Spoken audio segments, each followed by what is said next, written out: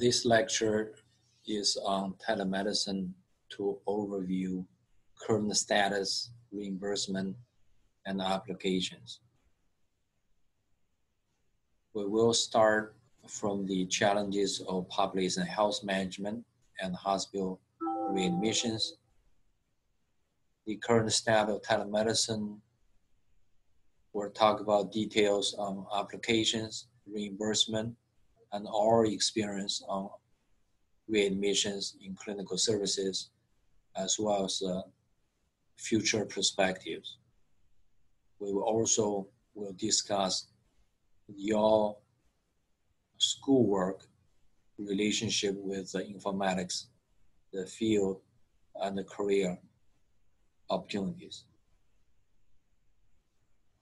So CMS already map out the value-based care payment continuum. By 2022, about 85% of the services were paid based on value, not fee for service. So this actually significantly transformed the public health management from inpatient-based sick care. You have to be sick, go to hospitals, and get the care over there, to outpatient-based healthcare as a proactive ways prevent sickness. So this is the current main projects that uh,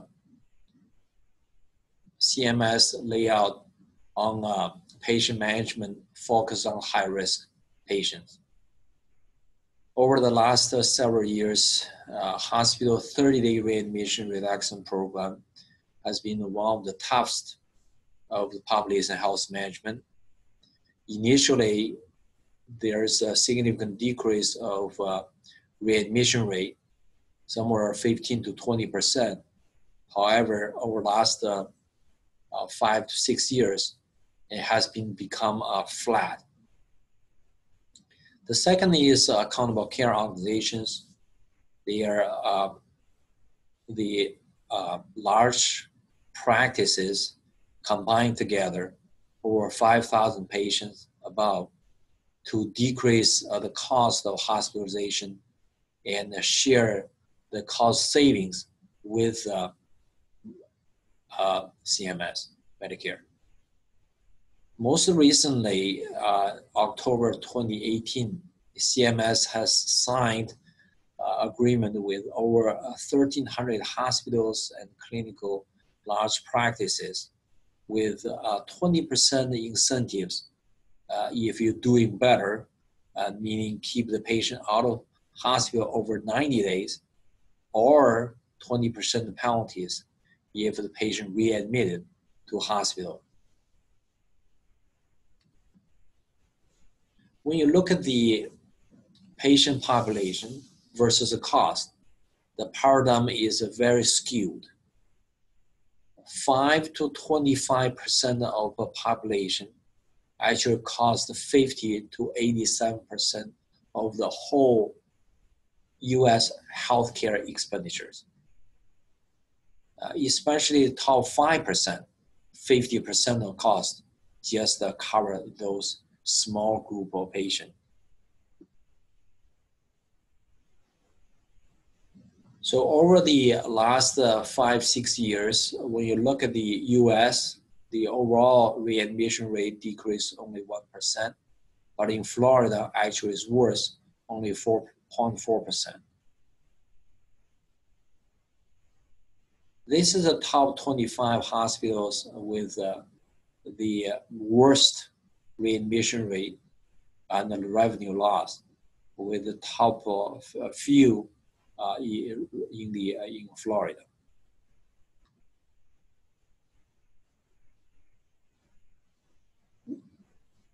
going back to the history, actually, uh, telemedicine uh, started uh, about two or three years ago, uh, two to three decades ago, excuse me, and started the teleradiology with remote interpretations and reading uh, images. Uh, recently, a couple of years ago, telemedicine really going into primary care, and you can get 24/7 services with minor uh, problems, urgent uh, problems such as cold, sinusitis. You can pay 45 to 50 dollars per visit, 24/7 to see a physician get a prescriptions the from the specialties cardiology, neurology, dermatology, pulmonary surgery, even ICU has been also expanded significantly uh, with uh, the further development of technologies of the sensors uh, as well as communications.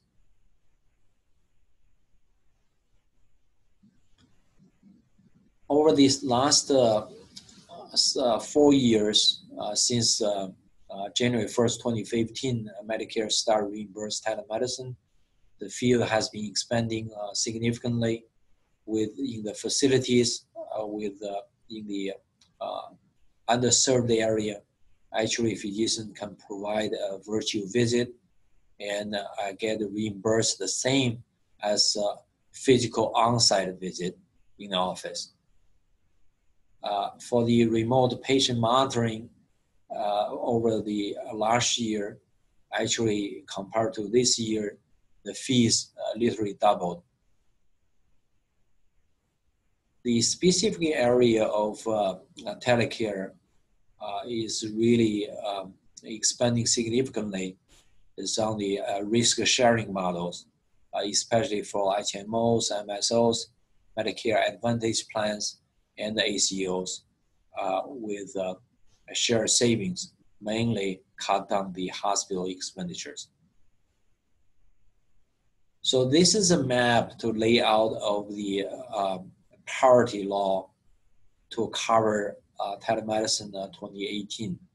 You can see uh, many states and uh, the parity law already implemented, meaning in those states, um, uh, the insurance companies they have to uh, cover telemedicine as the same as the in-office uh, physical on-site visit. Uh, you can see uh, there are a few states, including Florida, the parity law has not been uh, implemented yet. Although last few years, Florida lawmakers and the providers have been discussing of the the opportunities and uh, try to uh, yeah, uh, catch up with the rest of these other states. So DocsLink Health, uh, our group, is a Florida-based multi-specialty group, uh, telemedicine practice, led technology company funded since 2014. So our mission is bringing hospital-level care to patients anytime, anywhere and uh, developing a next generation telemedicine population health management with the ecosystem and multiple platforms to provide uh, enable physicians uh, for on-site uh, care uh, physically and uh, virtual care online remotely. We are focusing the post-acute care continuum from hospital to office rehab uh, facilities, assisted living, home health, all the way to the patient care at home. So let's analyze uh, what are the uh, key problems of uh, readmission. So when patient discharged from uh, tertiary hospitals and to the post-acute care space. So on one side, the sending side, Patients discharged much earlier from hospital compared to 15 years ago. Therefore, more sicker patients moving to outside of hospital to the post-acute care space. On the receiving end, these post-acute care facilities lack of uh, hospital infrastructures without 24/7 services. Therefore, when the patient sicker, they have to go to back to hospital. So therefore, the problem is both end. The early discharge from the hospital, then lack of hospital infrastructure for post-acute care. So therefore, in order to really improve the care and post-acute care is the space to improve the level of the services to decrease unnecessary hospital admissions or readmissions. So with this uh, uh, principle, and uh, we created this uh, uh, on-site and online, we call it inter-reality care. Basically, it's uh, in addition to hospital and clinic of the conventional care, we have on-site care physically, bring the uh, uh, lab tests, and uh, uh physician uh, visit, as well as online care, remote monitoring, and, uh, and televisit. So we have many components of the tele hospital and tele services, telemedicine services. one of the main component is the equipment. In addition to simple blood pressure, pulse ox, glucometers, weight scale, we bring to a hospital level of uh, EKGs, pulmonary function tests, sleep studies, uh, and labs to patients at home. The technology only enable uh, are the enablers uh, we have to provide of the physician uh, expertise. So we have uh, 12 uh, areas of uh, uh, specialties from cardiology to GI, endocrinology, and neurology. And we have significant growth over the last several years. So this is uh, the way we provide of the care. So patients uh, can be at home or at a facility uh, remotely connect with specialty physicians. Physicians can see the patients and as well as the EKGs and labs uh, on the cell phone. So therefore, uh, create a loop uh, with uh, remote uh, monitorings and the analytics. One of the major component is protocols and the way we are trying to bring a hospital level care to implement hospital level of the uh, care protocols or order sets. And in general, we uh, provide of uh, four different components and signs, symptoms, uh, standard test, standard treatment, and also admission criteria. So therefore, when uh, uh, clinicians at patient homes we can uh, provide uh, the uh, hospital level care in, with the support of the technology. So with the technology and services, we integrate the, the uh, care process from hospitals, uh, clinics, rehab hospitals, home health, uh, pharmacies, all the way to patient home with online remote monitorings connect with the uh, data, database and analytics uh, to, to, be, to enable the whole process. We have a big data analytics platforms with patient center data mart and data extraction mappings and the procedure utilization management. This is one of the uh, examples you can uh, trend of the data to really tease out of the meaning for um, information uh, in the data over time.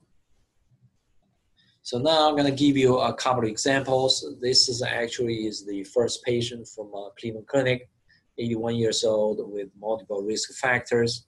He had a coronary disease, heart attack, cardiomyopathy with low ejection fraction uh, heart failure, renal failure, and GI bleed. Got bypass surgery with redo uh, many years ago, uh, and uh, followed by uh, uh, stents for the grafts. A patient had developed atrial fibrillation with ablation 2016 with intermittent GI bleeding and with blood thinners. he was admitted and readmitted uh, four times over a two month period, and uh, home care requested uh, in uh, August 2016. And they um, actually the first time when they asked me to ask the, to take care of the patient, I was really hesitating to take the patient so I actually went to the patient home and checked the patient out along with our nurse, nurse and uh, nurse practice nurse. So at the patient at home, the vital signs is pretty stable. The pulse ox is kind of borderline, but clearly you can see the patient have uh, uh, uh problems, especially significant edema uh, uh, to all the way to mid cuff and with a wrap around of the uh, of the lower extremities all soaked. So I ask the patient walk, it's only walk less than, uh, you know, uh, a minute, 23 feet. The blood pressure dropped, pulse is high, and oxygen levels are low. So when I saw this, I said, wow, now I see the problem, then I, I can uh, uh, take care of the patient. So in fact, I, you know, I was uh, uh, seeing the patient with telemedicine every day for 30 days. I learned the process. So initially, you can see the patient have a lot of edema. We adjust medications, and the edema over time uh, significantly decreased. The bloody stool is uh, you know uh, kind of controlled. Shortness of breath improved. The weight is uh, decreased, and the walking times uh, improved, uh, as well as the distance and the oxygen level they improved as well. So the patient really doing better.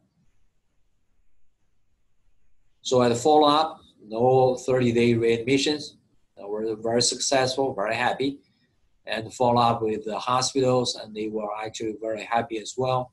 The patient was admitted, readmitted to uh, uh, uh, several months later uh, with a GI bleed, and uh, which led to uh, worsened heart failure, but no readmissions since August 11 for five months. This patient actually is the first patient for Memorial with uh, multiple risk factors as well. Got a heart attack, a stent, bypass surgery, low pumping function, defibrillator, two mechanic valves, chronic renal failure, uh, COPD, oxygen 24 7. Six admission readmission over five months, first part of 2016 uh, actually, the primary care went to the patient home um, uh, because of uh, significant shortness breath. Called me said, Mike, the guy is really sick. I'm ready. Sent to a hospital. Very sure no pneumonia, but I don't know how bad the heart failure is. And I said, well, let's get patient uh, to, to the office. Let's see. So the, we went to uh, Epic and checked the patient. The, this is the last uh, admission. The patient walking the ER and uh, become unresponsive. The nurse jump on him and start chest compression. The nurse get a shock uh, from the patient defibrillator. He was intubated, stayed in the ICU hospital over 14 days. And actually, at the discharge, the uh, doctors at hospital told him you got to go to hospice or at least go to nursing home and uh, because you know you just end a, a stage so i saw the patient and I, I, I, did agree with the memorial and told the patient that you gotta go go to a nursing home and he looked at me he said well and um, I, don't i because i'm cuban i said what that mean? And he said, I don't have vocabulary for uh, hospice, and uh, I'd rather die at home. So with this, it's very challenging. And uh, actually, I went to his house and checked him out, and talked to the uh, wife, talked to uh, a daughter and, and grandkid, great Cuban family. I said, okay, all right, so let's give it a try. So we put it on your device uh, at home, provide on-site and online uh, monitoring care, and with uh, tablets, blood pressure, weight scales. Also, we have a technology, uh, wireless read intracardiac leads for his impedance to assess heart failure. And uh, In addition, we provide labs even as of today, and they are still uh, uh, doing labs at his home uh, weekly basis because he is taking blood thinner and for his mechanic valve. So the first time I saw him was September 2016 until today, about 25 months, no admission, readmissions, knock on wood. So actually that is the example we got a patient into uh, memorial. So this is another patient of uh, uh, 70 years old, got uh, risk factors, got atrial fibrillation, ablation uh, twice, and one day he got a chest pain and palpitation. This is uh, seven o'clock in the morning, and when you know he did the EKGs, come to my phone, so he did come back to atrial fibrillation. For the standard care, I saw today, this kind of new patient, new onset AFib, he need to be admitted for a couple of days, need to be put on a blood thinner for three months. So since we have device with him, so we hit him hard with strong medications. Seven hours later, he convert back to normal sinus rhythm. No hospital admissions, no blood thinners for three months. So there's a new standard of care might be coming very soon due to a new technology enabled the new service. So last example is a 87 years old um, uh, uh, veteran in World War II. Actually, he was in Manhattan Project with uh, multiple medical problems, uh, including uh, Parkinson's and heart problems, heart attacks. And uh, he came to our office. We did a tra- traditional EKG. You can see there are a lot of zigzags of um, noise in baseline because of uh, Parkinson. In fact, he called uh, November and uh, with chest pain, and after evaluation uh, from the ambulance uh, crew, and uh, they told him he's fine and don't need to go to the hospital. So a month later, uh, one day before Christmas Eve, he developed a very similar chest pain. Uh, family thought, well, you know, last time, this is probably a false uh, alarm. Last time ambulance already came and didn't do anything. Um, so probably because of uh, Christmas uh, stress, church. but we have this EKG and you know the package and uh, let's uh, let's do EKG. So therefore, they did EKG and come to my phone. So I was really shocked. You know, although there still have some noise due to his Parkinson's, but clearly you can see the ST elevations in the inferiorities and the laterals, and clearly, uh, and uh, as well as the uh, actual reciprocal change on the, on the anteriors, meaning he had multiple areas of uh, blocked arteries, and acute uh, heart attack, the worst kind. So I uh, told the patient uh, start some medications and then we'll go to hospitals immediately. And then I'll call the hospitals and talk to the cardiology and have him to come down to the ER to wait for him, not wait uh, outside of hospital, uh, ER for three hours. So um, he actually, uh, cardiology came to ER, wait for him before his arrival, and quickly uh, he passed the, the, ER and went to the cath lab while the patient was preparing for the intervention, and this is what happened. He got a cardiac arrest. But this is right place, right time. The patient was uh, resuscitated successfully, put a couple of stents. Four days later, walk out from hospital. So, ladies and gentlemen, this is the future of health. The patient heart attack is remotely diagnosed in his bedroom before his cardiac arrest. So that's why I see clearly the telemedicine will shake the paradigm of the healthcare, bring hospital level care to patient homes. Not only save the money, but also save the life.